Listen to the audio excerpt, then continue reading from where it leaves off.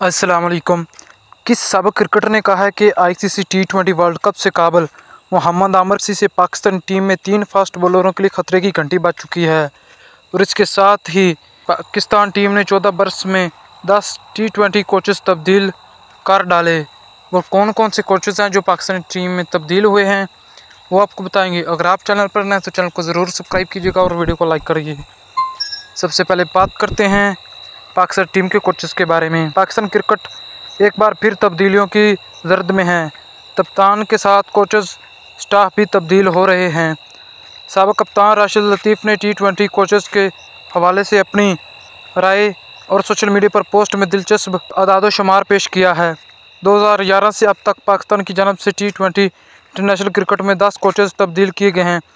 ان میں Abdur Grant Bradburn Mickey Arthur Misbah ul Haq Muhammad Hafeez, محسن حسن خان، معین خان، سکلین مشتاق اور وقار یونس شامل ہیں۔ ان میں سب سے زیادہ پاکستان کی فتوات میں مکی آتھر کی رہنمائی میں کامیابی کا تناسب اکاسی اشاریہ آٹھ رہا اور سب سے کم کوچز میں محمد حفیظ کا تناسب بیس فیصد رہا۔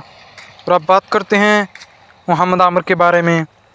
سابق کرکٹ کا کہنا تھا کہ امریکہ کی ریاست میں موسم بالکل تبدیل ہوتا جاتا ہے۔ یہاں پاکستانی ٹیم ایک میچ میں تین فاسٹ بولرز کے ساتھ بھی میدان میں اتر سکتی ہے، جن کا ان کو فائدہ ہوگا۔ انہوں نے کہا ہے کہ پاکستانی ٹیم میں دو فاسٹ بولر ایسے ہیں جو ورلڈ کپ کے دوران پلینگ الیون کا حصہ ہوں گے، جبکہ شہنشاہ افریدی سے کپتانی لینے کے بعد معاملات صحیح نہیں چل رہے، جب ان کی بولنگ فارم بھی متاثر کن نہیں ہے۔ ہو بھی سکتی ہے، انہیں سائیڈ لائن لگا دیا جائے گا۔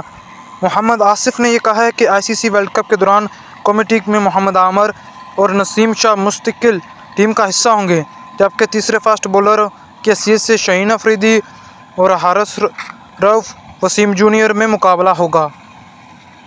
نسیم شاہ کے حوالے سے ان کا کہنا تھا کہ تھا کہ وہ اتنی جلدی کندھے کی انجری سے اتنی جلدی نجات حاصل کر سکیں گے، لیکن انہوں نے بہادری کا مظاہرہ کیا اور یہ کر دکھایا۔